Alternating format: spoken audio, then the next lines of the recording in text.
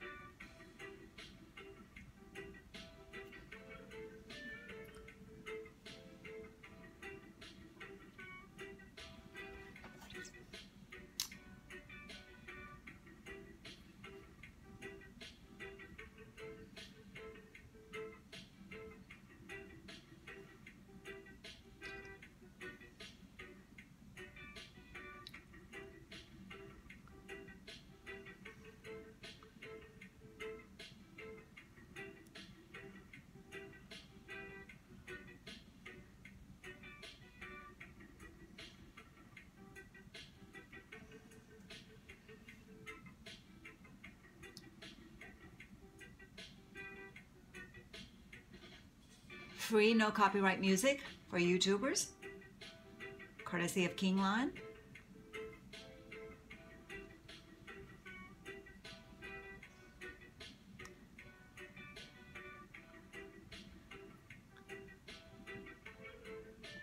Who would have ever thought in a million years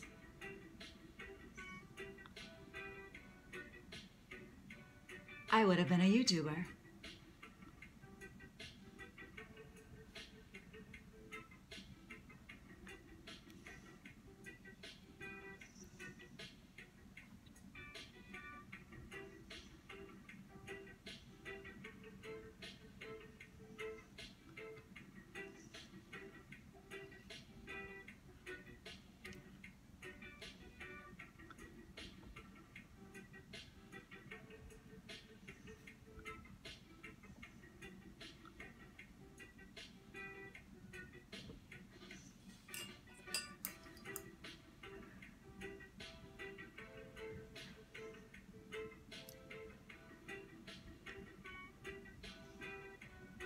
And what I was telling you a while ago to always watch your areas so that you will be aware of what's on your palette and what's left to be painted in a certain area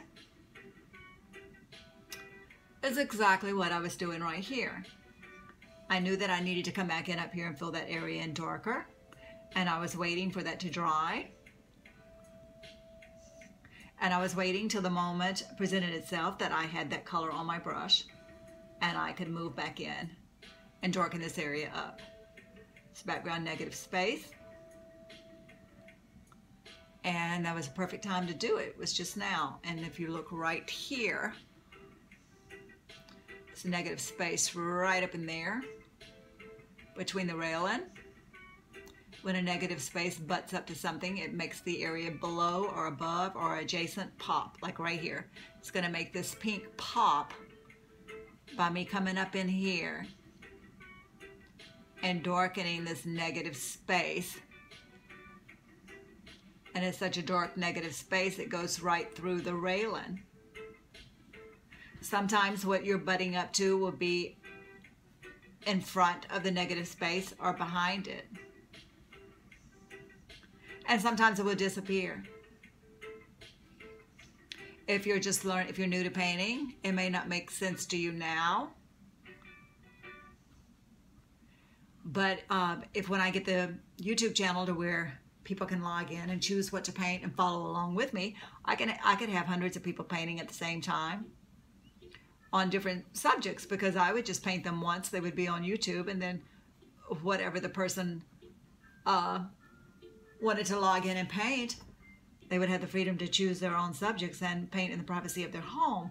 Well, anyway, what I'm trying to say is the method of realism that I teach, painting from your photographs, like you're seeing me do right here, is just a, such an awesome way to learn to paint. You can paint your life's travels, your family, your children's happenings, your grandchildren. You can paint your interests. You can paint your passion. You can paint your your uh, hobbies. You can paint anything you want to paint, once you learn to paint, you can paint for the rest of your life.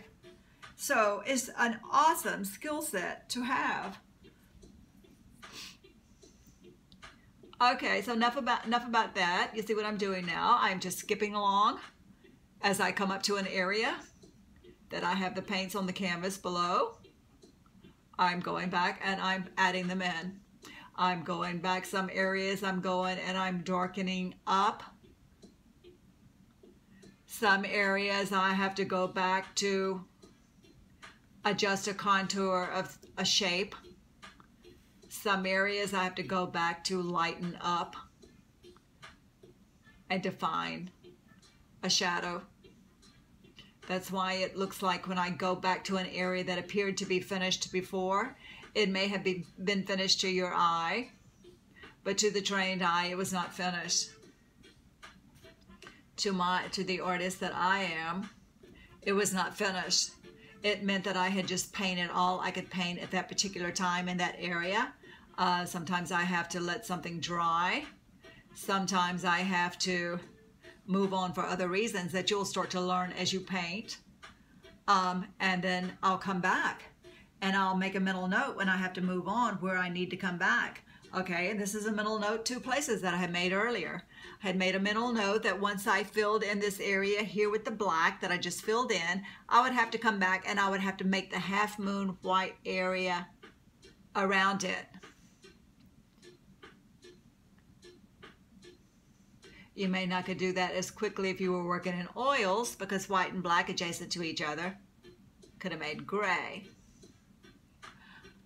Okay, so while I've got the white on the brush, I see right here, the little area here is white as well. And these were mental notes that I had made earlier as I was painting.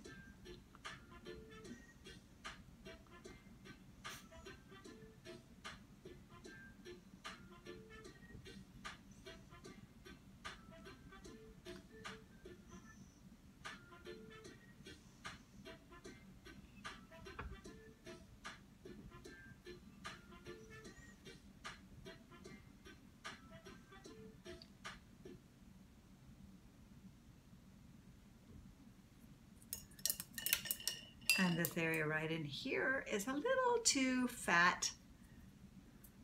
So I'm going to shave off an area. Watch me here. If something's a little too wide, I just come in and shave it off.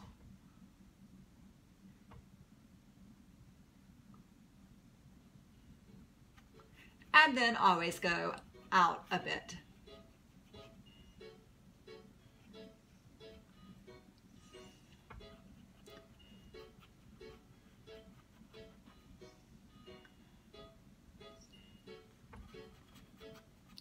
So awesome.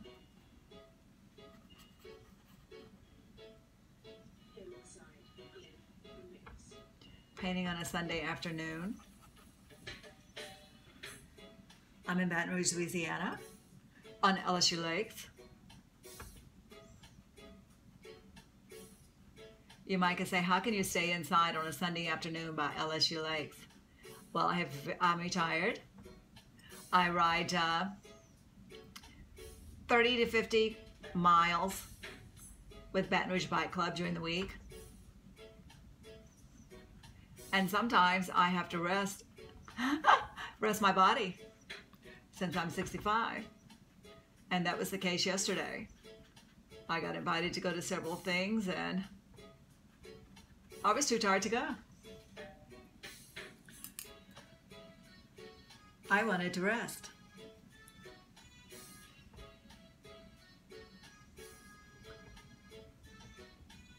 I had to rest. Be in tune with your body.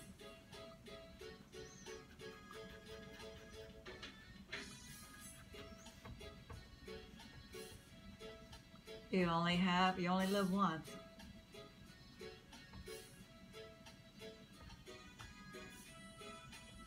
Want to take good care of yourself. And I try to do all those things.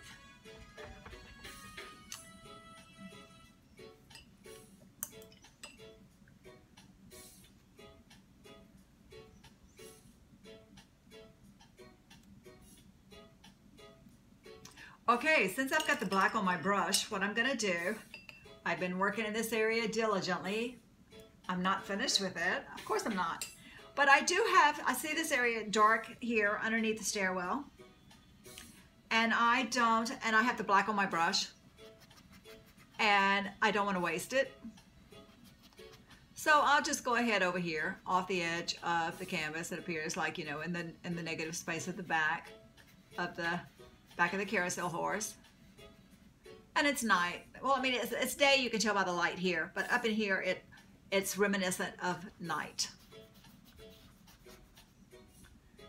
Okay, so just going to dab some of these areas that are lighter with the darkness on my brush to be consistent with graduating from one area, graduation, graduating from one area to the next.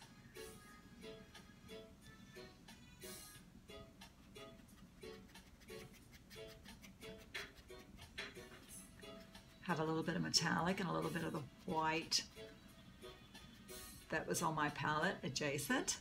It's okay. Just gonna go ahead and spread this in here.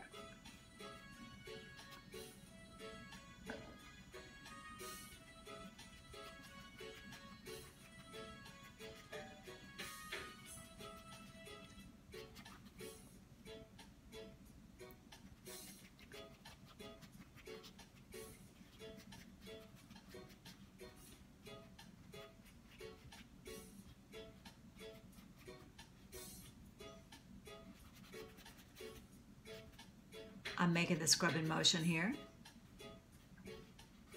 Just making sure that I cover all of the little pores on the canvas.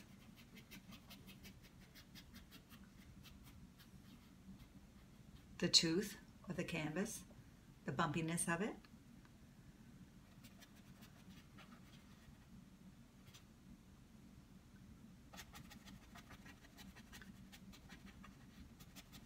Make it blend.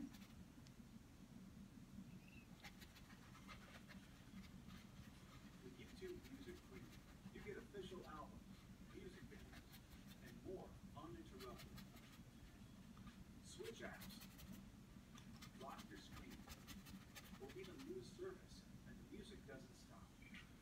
And get it all ad-free. YouTube Music Preview, free for 30 days and just $9.99 a month after. Cancel anytime. Restrictions apply.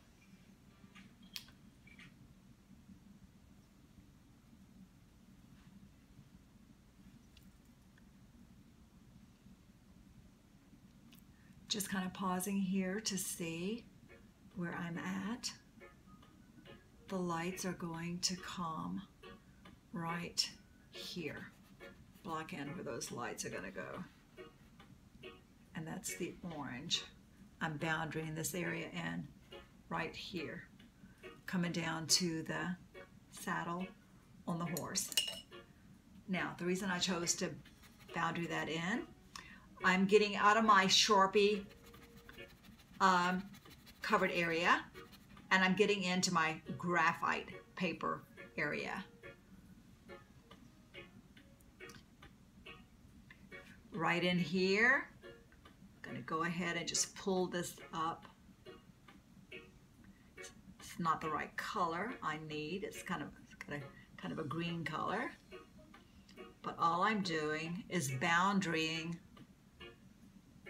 this area of background illuminated light. In this area on top of the illuminated lights up below the beautiful ornamental um, architecture design here you'll see that there's some reflections of some light back in here. And actually it's a little higher. It's about this height right here So I'm getting that in there. So we can start to continue to move on down here where I do not have the lines sharpened in. So I have to be careful where I'm painting. I can't paint through them because I will lose my way of where I am. So that looks perfect back in there. Now going to start with the iron. Now, I can't go real fast with background colors here like I did over here because I'm going to lose the graphite lines. So what I'm going to do is I'm going to, what, what I call this is I'm going to prepare, the video is at 17 minutes. So what I'm fixing to do now, I'm going to prepare the canvas to, and where I can start when I come back. So what I'm gonna do when I come back, I'm gonna go ahead and put in some of this green foliage down here in front of Actually, it's behind. I said in front. Behind the stairwell in the background here. You see the foliage back in there. Okay, and then what I'll do, um, I'll go ahead right, right now. I see an area while I've got black on the canvas that I'll, I'll go on it and I'll add this in right here. Uh, if you see on top of the lights right here, and around the horse's ear and up over his eyeball is very black. Let's see if you can see where I'm at. Let's see if you can see me painting right in here. Yes, okay. Okay, so what I'll do since I have the black on the brush, on the palette, go ahead and fill this in right now. Like I said, I'll be preparing the area to paint for when we start back again. I will put some green on the palette and we'll start to move across here and we'll finish this while we're up in there. But as you can see, a, a canvas with this much, a painting with this much detail takes a while, but you will have a beautiful masterpiece when it's all over. A family heirloom for years. And with me being a teacher and with me having, you know, uh, my, I've worked construction was my living. And I was married and all. So anyway, I, my income was not from my art. Okay. And then, uh, but I had quite a bit of classes going on. So I had teaching uh, experience and students for 14 years. I was a teacher. And I just painted the beautiful things that from my photographs, from me traveling and everything. And they were like so special to me. My home was, I had a 20 year art collection in my home. And uh, when I flooded and all of that flooded, a lot of it flooded, not all, everything, but most of it did. I thought, well, you know something? Uh, those were originals and all that I had. I thought eventually that I was going to uh, print prints from, and I still have a lot of those photographs, and I didn't. So I took reflection uh, after the flood, and I said, well, you know, I've lost my body of work. I have to repaint it. Some of the things I wanted to repaint because they were had sentimental value, and um, I like my Mardi Gras collection, and I may repaint that. Painted some up one already. But anyway, long story short, what I'm trying to say is I thought perfect timing to start with the videos. The things that I paint now, new, or whether I'm painting something back, I will video. And then others can uh, paint with me online, and that will be my new classes. They won't be in a building. My daughter said, Mom, people don't want to go to a building and commit to two and a half hours of doing anything anymore. Times have changed. They want to go online to buy. They want to go to Amazon. They want to go to Etsy. They want to go wherever. and they want to do their classes online. So it sounded good to me. So I'm getting under this ear.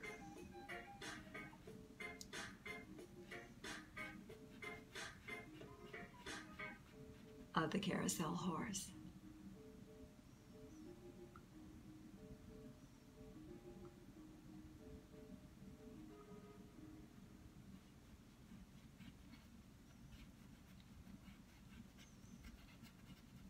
Okay, and now you can see that I've prepared the area uh, over the horse's eye, underneath this decorative face, and around this ear. Okay. So that's uh, really, uh, you can see I'm really moving along here today. Okay.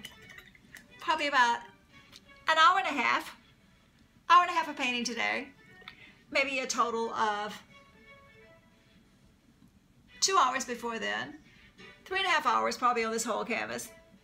And I'm not a third of the way through. Probably when I finish this, I would say I'm a third of the way through.